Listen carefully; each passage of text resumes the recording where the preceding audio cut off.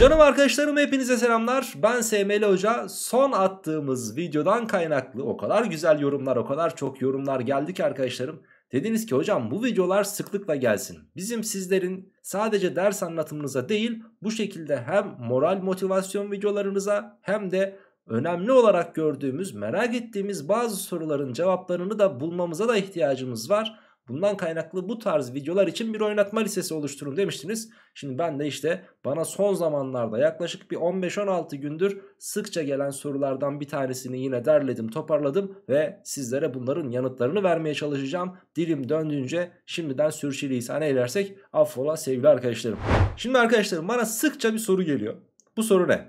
Hocam AYT için ben geç mi kaldım? Hocam AYT'ye bütün arkadaşlarım başladı bak burasını çok seviyorum ha. Bütün arkadaşlarım AYT'ye başladı. Ben hala TYT'deyim. Bak bu, bunu çok beğeniyorum. Bu soruyu özellikle şu kısmını. Bütün arkadaşlarım başladı kısmını ben bayılıyorum. Buna bitiyorum özellikle. Başka. Hocam ben TYT'yi bitirdim. AYT'ye başladım. Ama TYT'den bazı unuttuğum eksik konular var. Onları işte sona sakladım. O konuları eledim. Ona sonra çalışırım. Şimdi ben AYT'ye çalıştım. Ama bu sefer de TYT, netlerim düşmeye başladı. Ne yapmam gerekiyor? Ya güzel kardeşim. Şu AYT'nin yakasını gözünüzü seveyim bırakın ya. Ya rahat bırakın şu AYT'yi ya. Hem siz rahatlarsınız hem biraz AYT rahatlar hem matematik rahatlar. Gençler lütfen rica ediyorum ya. Yapmayın etmeyin lütfen. Bak bir, bir taklitçi davranıyorsunuz. Taklitçi davranıyorsunuz. Taklitçiler hiçbir zaman başarılı olamazlar. İki, sürü psikolojisiyle hareket ediyorsunuz ki zaten taklitçiliğinizi doğuran şey sürü psikolojisi. Aman yapmayın gençler lütfen rica ediyorum. Şimdi ben en başından beri, en başından beri ilk temel kavramları anlatmaya başlarken ben size ne diyorum? Bilmeyenler için söyleyeyim. Arkadaşlarım matematik dediğimiz şey başından sonuna kadar temel kavramların en başından tutuyorsun integralin sonuna kadar bir zincirdir arkadaşlar.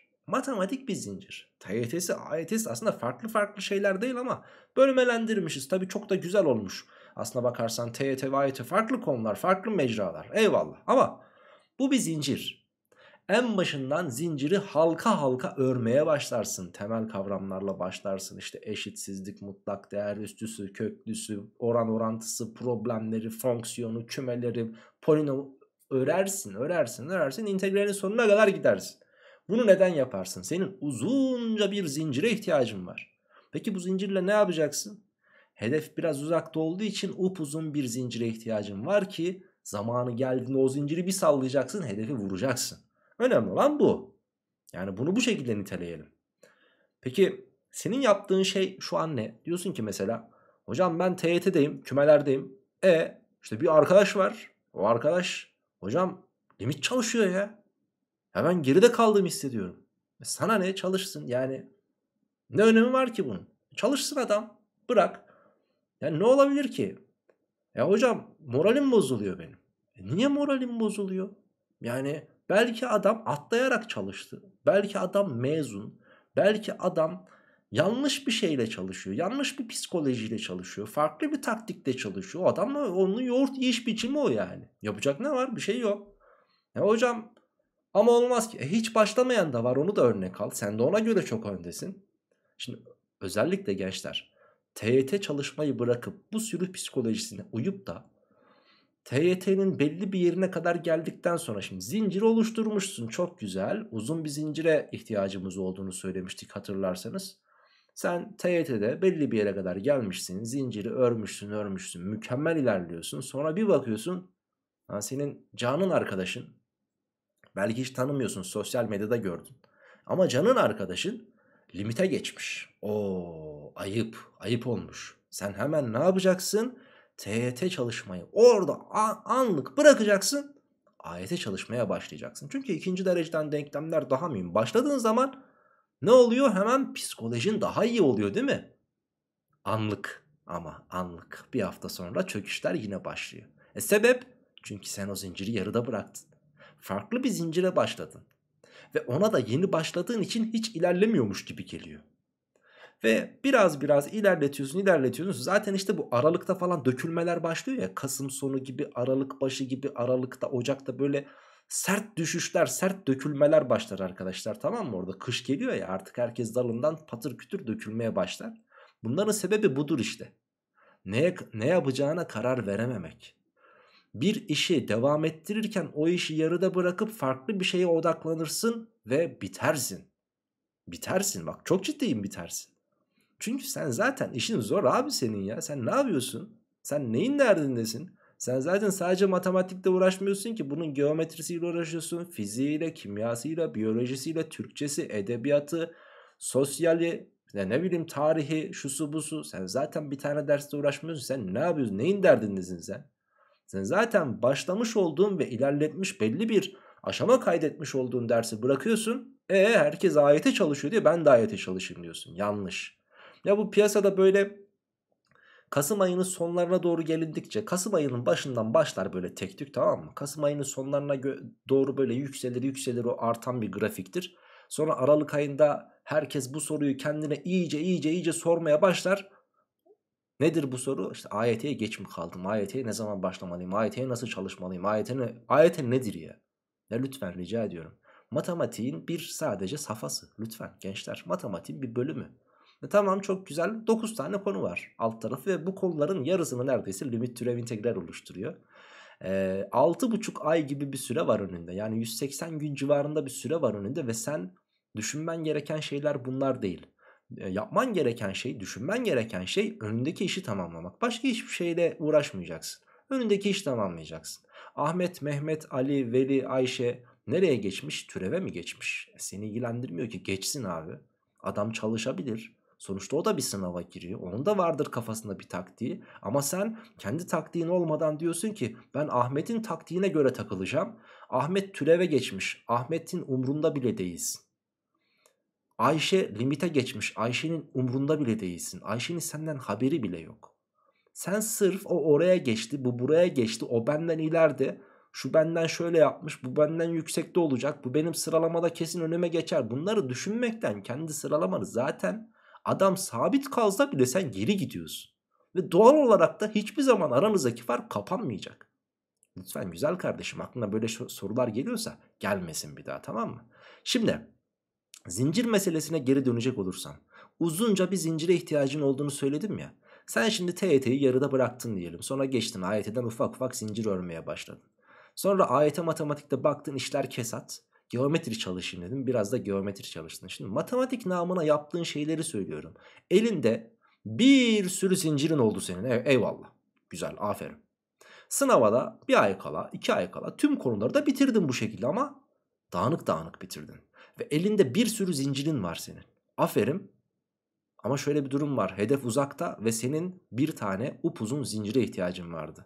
Bir sürü zincirin var ama hepsi yarım yamalak. Çünkü hiçbirini birbirine bağlamadın güzel kardeşim. Tamam hiçbiri birbirine bağlı değil. Ve bu hayatının hatası oldu. İşte çok çalışıp da sınav kaybeden elemanlar bunlar arkadaşlar. Tamam benim mezunlar mezun tayfadan olanlar şu an dinliyorlarsa çok daha rahat anlayacaklardır. Çok fazla çalışmıştır. Ölümüne çalışmıştır. Yani deli dehşet çalışmış. Ama sınava bir girmiştir istediğini alamamış yani tek yapması gereken düzenli çalışmak olan arkadaş dağınık çalıştığı için bu şekilde kendi kafasını karıştırdığı için yapamaz. İşte o çok çalışıp da yapamayan tayfalar bunlar arkadaşlar. Tamam. Ya çalışıyorsunuz bak emeğinize heba ediyorsunuz tamam mı? Başkalarını düşüneceğim diye o onu yapmış bu bunu yapmış. Arkadaşlar her koyun kendi bacağından ısıdır diye bir laf var biliyorsunuz atasözüdür. Her koyun kendi bacağından ısıdır. Herkesin başarısı kendine. Sen gireceksin abi. Sıralama dediğimiz şey bizim üniversitelere yerleşebilmemiz için üretilmiş bir şey.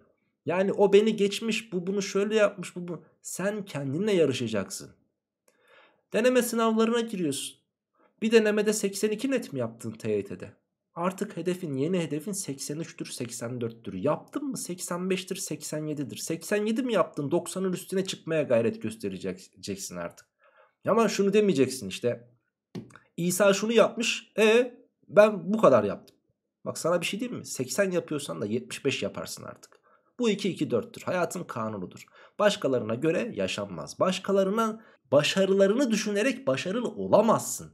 Başkalarının hayallerini düşünüp aa bak hayaline ulaşıyor işte diye düşünürsen sen kendi hayallerini düşünemezsin. Sen hayal dahi kuramazsın. Bırak hayallerini gerçekleştirmeyi senin gerçekleştirecek bir hayalin dahi olamaz. Neden? Çünkü sen başkalarının başarılarına göre, başkalarının hayallerine göre yaşıyorsundur artık.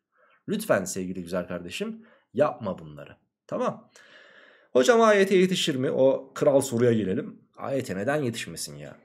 Yani talim terbiyenin açın girin arkadaşlar bakın hangi ders hangi konu kaç ders kaç ders saati işlenmesi gerekiyorsa hepsi tek tek yazıyor zaten tamam mı sitede. Bir bakın bakalım. Toplam kaç saatte işlenmesi gerekiyor bu ayet konuların hepsini toplayın. Topladıktan sonra da bunu dakika bazında toplayın. Dakika bazında topladıktan sonra bunu saate ve güne çevirin bakalım kaç gün sürüyor tüm konular. Buna göre karar verelim. İnternette sadece ben değil bir dolu hocanız var arkadaşlar matematik hocanız var. Bir dolu bir sürü.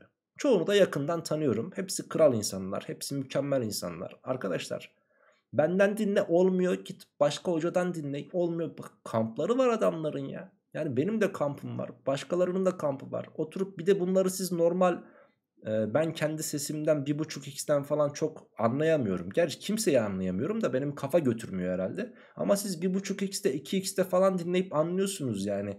Yaparsınız gençler. Önümüzde daha 180 küsür gün var. Vallahi ne, ne olacak ki? Matematik dediğimiz nedir arkadaşlar? Kul yapısı bir şey. Sonuçta insanlar bunları anlatıyorlar. insanlar bunları anlıyorlar. 2 2 4 sen yeter ki yapmak iste. İnsanın ben bir şey yapmak istiyorum deyip de Yapamadığı bir şey olamaz arkadaşlar. Ve diğer mevzu ayete yetişir onu hiç kafana takma. Diğer mevzundan da bahsedecek olursam lütfen sana yalvarırım aceleci olma artık tamam mı? Aceleci olarak başarabileceğin hiçbir şey yok. Şimdi neden aceleci olursun? Seni çok iyi anlıyorum. Zamanında ben de tattım bu duyguyu çünkü. Ama o acelecilikten çok kritik bir zamanda vazgeçtim ben. Aceleci olmayacaksın. Şimdi Şöyle düşün. En son alelacele yapıp da muntazam yaptığım bir iş, temelleri sağlam temellerine oturttuğum bir iş, çok güzel oldu dediğim bir iş var mı? Alelacele yaptığım. Ben ufak tefek şeylerden bahsetmiyorum ha. Böyle ufak tefek gündelik hayatının içerisinde alelacele yaptığım bir şey olur. Mesela kek yaparsın, pasta yaparsın, omlet yaparsın, tost yaparsın falan. Oo çok güzel oldu lan tadından yanmıyor diyebilirsin. Bunlar değil.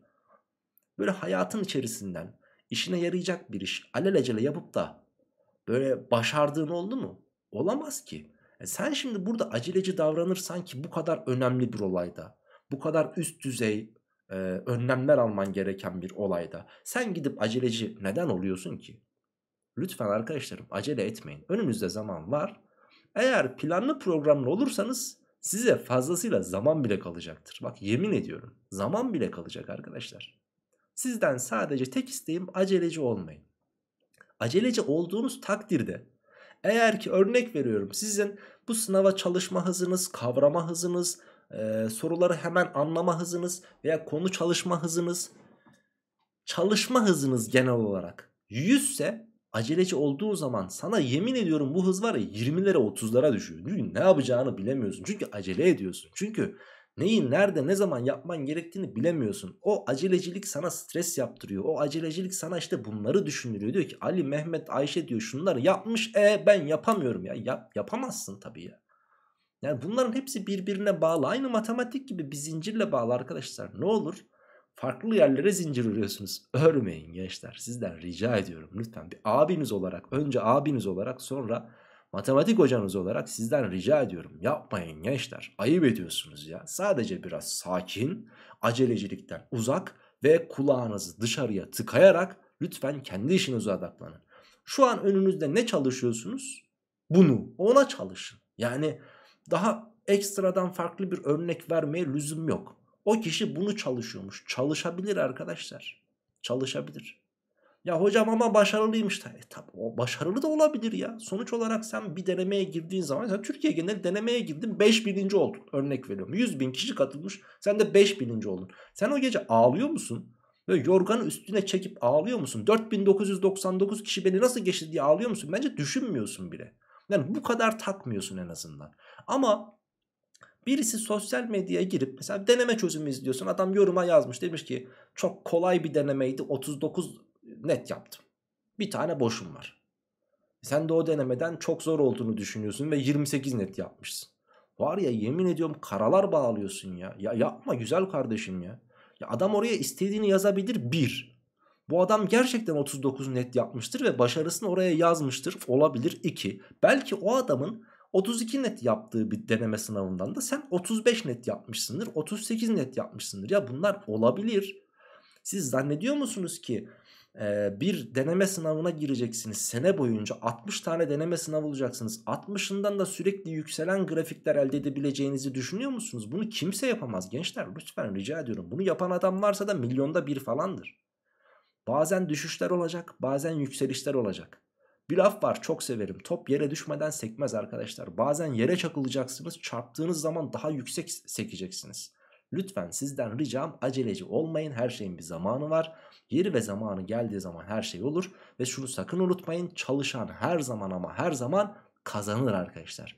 Tek gayeniz bu olsun. Hayatta unutmamanız gereken tek şey bu olsun. Çalışacaksınız, çalışacaksınız, çalışacaksınız. Çalışan her zaman emeğinin karşılığını alır. Çalışan her zaman ama her zaman her konuda kazanır arkadaşlar.